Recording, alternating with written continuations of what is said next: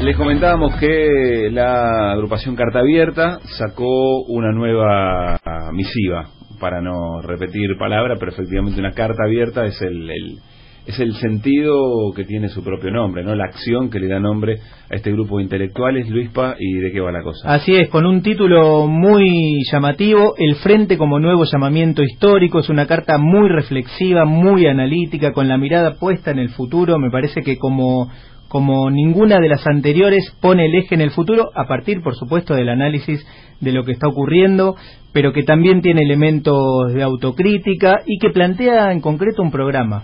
Un programa en, función de los principales acuerdos de un sector del kirchnerismo, podemos llamarlo así, este, y lo deja en suspenso, en todo caso, propone algo y, deja la pelota en la cancha, ¿no?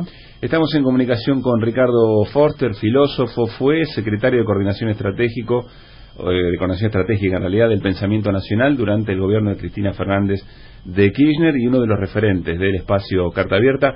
Ricardo, Pablo Caruso, Luis Pagíniger, toda la banda de que vuelvan las ideas te saluda. ¿Cómo te va? Muy bien, muy bien. Buenas tardes para todos. Gracias por atendernos. No, un gusto. A ver, antes de meternos en las caracterizaciones que hacía Luis de, de esta carta, vuelvo a preguntar, eh, en este contexto, ¿a quién va dirigida la carta de Carta Abierta? Qué buena pregunta. Yo creo que va dirigida a, a un público diverso. Claramente a, muchísimos de aquellos que han atravesado en común estos últimos 12 años, que, que sienten que aquello que sucedió en la Argentina no es simplemente un relato de ficción o una herencia maldita, sino que marcó vidas, transformó la sociedad, dejó algo muy profundo y muy valioso y que a su vez es necesario volver a discutirlo, a pensarlo, pero también dar cuenta de cómo se sigue hoy cuando vivimos en un país completamente distinto al país de los 12 años de gobiernos de Néstor y Cristina Kirchner. Entonces también va dirigida a un público más amplio, a aquellos que quieren discutir de una manera, eh, ¿cómo llamarla? No banal o brutal o de reducción absoluta de las ideas, sino que quieren poner en discusión el país, su vida social, económica, cultural, política.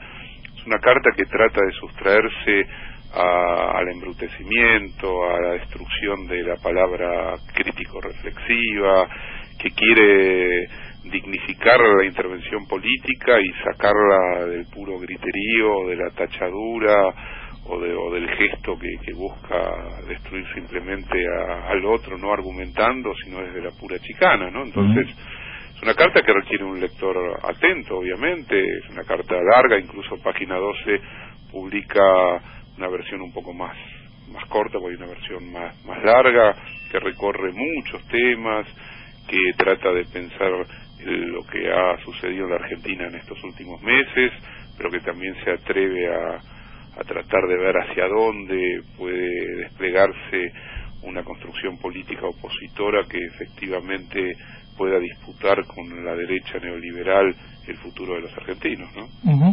Ricardo, ¿y a qué concepto político e incluso te diría emotivo se apela cuando se habla de frente? Porque digo, pienso en principio en la vieja idea o el viejo concepto de frente popular por un lado, pero pienso también en el, en el Frente Grande, pienso en el Frente Amplio Uruguayo y pienso en el Frente para la Victoria. Sí, a ver, la palabra frente es polisémica, tiene muchas historias, tradiciones, uno dice Frente Popular y puede ir a a la España de la Guerra Civil o a la Francia de León Blum y así ir recorriendo o la Unidad Popular de la Chile de Salvador Allende o el Frente Amplio como experiencia democrática que permitió la, la unidad de todas las izquierdas uruguayas o el Frente Grande como una experiencia política fuerte de los años 90 en Argentina y que todavía sigue existiendo como parte del Frente para la Victoria o el Frente para la Victoria que fue una herramienta electoral poderosa que permitió la llegada de Néstor Kirchner a la presidencia y después la, la doble presidencia de Cristina Kirchner. Me parece que en la carta y en el espíritu de época está la necesidad de repensar la idea de frente, de no tomarla simplemente como algo dado o en bloque o dogmáticamente, sino colocarla en la escena contemporánea, que es una escena que no es intercambiable de la misma manera ni con la España de la década del 30, ni con la Chile de los 70, ni con la incluso la Argentina de, los años del kirchnerismo, ¿no? Tiene que ver con una recomposición de la vida social económica, tiene que ver con un lugar clave pero no equivalente de los trabajadores al lugar que ocupaban en otros momentos de la historia del propio capitalismo. Bueno, ese es otro punto fuerte de la carta, ¿no? Un punto, un punto central, el rol de los trabajadores como movimiento en la constitución de ese frente. Sí, que lo seguimos reivindicando. Nosotros eh, leímos con mucha atención y con, con, también con entusiasmo los movimientos que se dieron en el interior de eh, los sindicatos y las confederaciones, tanto de determinados sectores de la CGT como de la CTA eh, lo que fue la marcha federal, lo que es el grupo de sindicatos que conforman la corriente federal dentro de la CGT. Me parece que ahí hay un espíritu de, unidad, hay un reclamo de que las centrales de los trabajadores se pongan al frente, no simplemente de una protesta abstracta por salario, sino que se pongan al frente de una disputa por el futuro inmediato de los argentinos, porque lo que está eh, jugándose en la Argentina no es eh, un salario mejor o peor simplemente, sino la, estructura misma de la sociedad, qué va a suceder con, con nuestra vida, con, con, con, el proyecto de país, porque el neoliberalismo y el proyecto del macrismo en 11 meses ha buscado transformar radicalmente la Argentina y aspira a que sea una Argentina donde la sustitución de importaciones, la industrialización, la distribución de la renta que beneficia a los asalariados quede como un mal recuerdo del pasado de nuestro país. O sea, van hacia un país agroexportador, su ejemplo es Australia, que tiene la mitad de nuestra población y que ha elegido un camino de desindustrialización o que solamente ha focalizado en el valor agregado, en la producción eh, agroindustrial y en algún otro rubro. En Argentina eso significa millones y millones de excluidos, significa el derrumbe del salario, significa también el derrumbe de los sindicatos como herramienta fundamental de los trabajadores a la hora de defender sus derechos. Bueno, todo eso creemos que sigue estando en el centro de una disputa en el país y que eh, la clase trabajadora sigue siendo una figura clave, un actor decisivo a la hora de construir un espacio común al que podemos llamarlo frente con el nombre que ese propio proceso le termine dando, pero que también necesita de la confluencia de otros actores, de otros sectores y por eso también eso lo decimos. Ricardo, estamos charlando con Ricardo Forte, de filósofo referente de Carta Abierta. Uno observa, este, no por tener grandes luces, sino porque es parte de las discusiones, si vos querés, más interesantes y un poquito fuera de la coyuntura que a veces distrae eh, que, se puede escuchar. Una encrucijada muy concreta que tiene que ver con la conformación de un frente lo más amplio posible para que el límite sea Macri, digamos, ¿no? Este, antes, el límite era Scioli. Valmedina tiene esa, eh, eh, esa frase que creo que se la sacó a Dolina. la, repitió en una entrevista que le hizo Diego Genudo en, la política dice el límite era Macri no era no era Scioli por, por cómo se jugaba de aquella manera un frente amplio heterogéneo pero que a la hora de tratar de encontrar puntos programáticos, ahí se empieza como a complicar un poco la cosa. Bueno, la carta... Sí. perdóname, Te doy un solo ejemplo. El otro día en Atlanta fue muy interesante, estaba vos también ahí en el, en el palco. Em, un común denominador fue, por ejemplo, o una reforma o una nueva constitución. Ahora, cuando se empiece a trabajar sobre eso, uno imagina que ahí la posibilidad de aunar una enorme cantidad de, este, de, sectores, quizá se achica también. ¿Cómo se resuelve eso? A ver, está bueno lo que estás diciendo y sobre todo lo último. Yo fui de aquellos que participaron en un movimiento que no se pudo desplegar en el tiempo, allí por el año 2014, donde planteamos que era necesario ir hacia una nueva constitución en, nuestro país, porque más allá de si se lo reducía a la cuestión de, de la reelección, estábamos convencidos y estoy convencido que es muy difícil eh, proyectar en el tiempo un proyecto de transformación si no logra modificar la trama profundamente neoliberal que subyace a, nuestra Carta Magna. Te, diría que la derecha fue muy astuta en hacer pasar por única intención la reelección para evitar eso, ¿no? Eh, absolutamente. Ahora te diría, mi posición es, eh, a mí me parece interesante que en el horizonte de futuro estemos pensando en una reforma una nueva constitución, pero creo que antes de ir hacia eso, primero que construir esa fuerza de unidad, esa capacidad de dar una disputa que cristalice en, en las elecciones del año que viene, que no son demasiado lejanas, y que plantearnos hoy una reforma de la Constitución eh, en realidad es un poco ¿cómo llamarlo? Está fuera de lo que debería ser la agenda de una oposición, porque una reforma a la Constitución la hace un movimiento popular que está transformando y en ascenso su sociedad y que necesita de ese nuevo instrumento. Ahora, nosotros tenemos que hacernos cargo de que hubo una derrota electoral durísima y que hay una derrota política económica también durísima que está generando un daño inmenso sobre la vida social y que el esfuerzo hoy más importante es construir eh, una unidad, no en abstracto, con cualquiera, porque no se trata de construir simplemente una unidad eh, sin que haya un acuerdo eh, significativo entre los diversos actores de, esa unidad y que no sea simplemente un gatopardismo de algún sector que lo único que quiere es ser el recambio de la propia crisis del macrismo, digamos. Esto último, Ricardo, resolvería la pregunta eh, ¿cuál es el lugar del Partido Justicialista en todo esto? Digo, ¿el programa mismo lo resolvería? A ver, yo creo que hay que diferenciar Partido Justicialista, Frente para la Victoria, de aquellos que optaron por eh, elegir un camino de ruptura tanto del Partido Justicialista como del Frente para la Victoria y que se constituyeron en un espacio político que le disputaba al macrismo un electorado común e incluso un proyecto de sociedad con muy pocas distinciones en su interior, ¿no?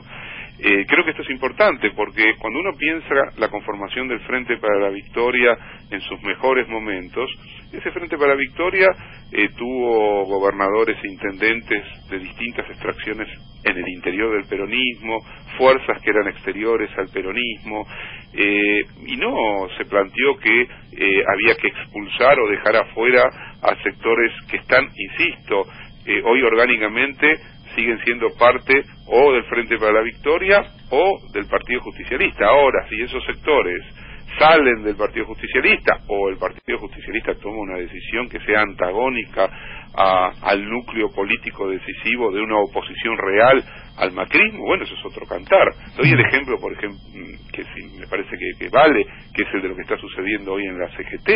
Es decir, yo veo con mucha simpatía a la corriente federal, ¿no? que encabeza, por ejemplo, Palazzo de la Bancaria, los gráficos, etcétera, etcétera, y veo con muchísima preocupación el núcleo dirigencial de la CGT que parece más eh, un núcleo de dirigentes que están dispuestos a allanarle el camino al gobierno que a defender los intereses de los trabajadores. Entonces, eh, me parece que ahí, pero sin embargo, el grupo mm, de los que exigen que se vaya a un paro no se va de la CGT, sino que exige desde adentro de la CGT que la CGT se haga cargo de, eh, junto con las otras centrales obreras, de llevar adelante un plan de lucha que, confluya en un gran paro nacional contra el proyecto neoliberal del macrismo. Bueno, lograr un frente así sería inédito en la Argentina, ¿no? Un eh, frente con, ese nivel de democracia. Sí, bueno, es probable... el que pierde acompaña, digamos.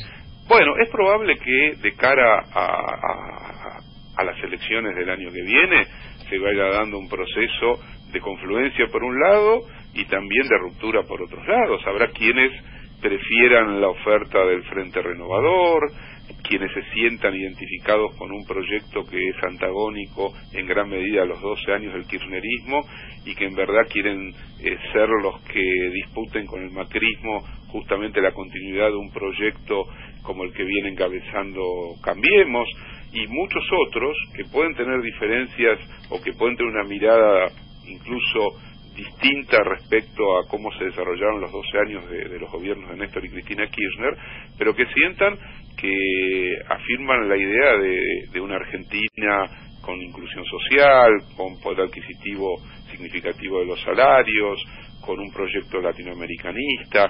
Por eso también el Frente interpela a las izquierdas, no solamente a, otros actores propios de ese gran mundo que es el peronismo. también Eh, eh, interpelamos a, a ciertas izquierdas que, que tienen un lugar en la vida social, en la vida sindical y en la vida política argentina para identificar claramente qué está en juego hoy en, en la Argentina. Pero bueno, eso lo, lo, lo dirá el propio devenir de, de las cosas. La Argentina es un país siempre extremadamente complicado de anticipar sus recorridos, laberíntico, lleno de zigzags.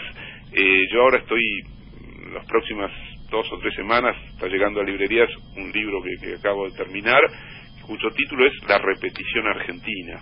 Es decir, también esa tendencia especular del país de regresar dando un salto a veces que parece un salto al abismo, como es el que yo creo que está haciendo Cambiemos, hacia experiencias del pasado que nos llevaron a, una situación dramática en términos social, político, institucionales. Pero bueno, eh, eso está dentro de la Argentina y eso hay que pensarlo, discutirlo, ponerlo en juego. Y la carta de carta abierta buscó también básicamente eso y sobre todo sustraernos un poco a eh, una especie de vaciamiento del debate de ideas, del debate político, a la brutalización que se da sobre todo en los medios audiovisuales.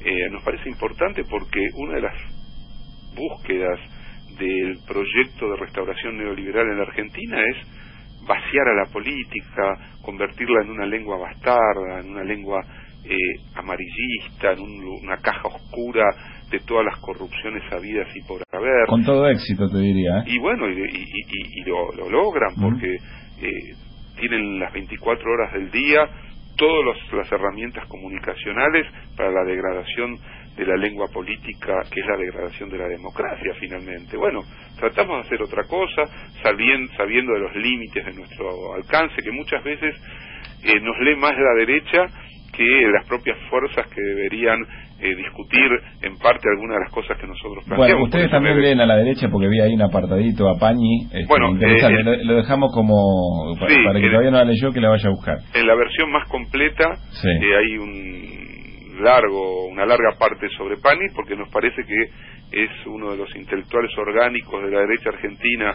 que opera como el periodista que construye política desde la nación más eh, complejo, ¿no? Y con, bueno, entonces ahí discutimos, entre otras cosas, también a Pani. Ricardo, muchísimas gracias, como siempre, un gusto escucharte. Un placer. Que estés muy bien. Ricardo Forster charlando con nosotros, filósofo referente de Carta Abierta, intelectual orgánico, Paini. Yo como operador de la derecha desde la Nación lo tengo. El nuevo Mariano Grondona. Intelectual orgánico es sí, dicho por Forster. ¿Dijo el nuevo Mariano Grondona o así lo escuché Más o menos, más o menos. algo así dijo. Eh, bueno, da para. Quiero decir una cosa de Carta Abierta. Se la critica mucho a Carta Abierta porque es difícil que llegue a determinados sectores, porque, eh, a ver, porque escriben difícil, porque es, es este, una expresión, es una manera de entender efectivamente hacerlo, tiene un destinatario por eso yo arrancaba preguntándole a quién le escriben, ¿no? Claro. Es una de las maneras de hacer la política de este, de este sector en concreto. Claro, pero además no es un partido político ni hace militancia territorial, se propone, es un grupo de intelectuales que se propone pensar, intercambiar algunas ideas y a partir de eso discutir. Y acá este, me parece que es interesante porque dan un paso hacia la política concreta, no porque antes no lo hayan hecho, pero de cara al futuro hay una propuesta concreta de cómo seguir. El Frente como nuevo llamamiento histórico es la nueva carta abierta y por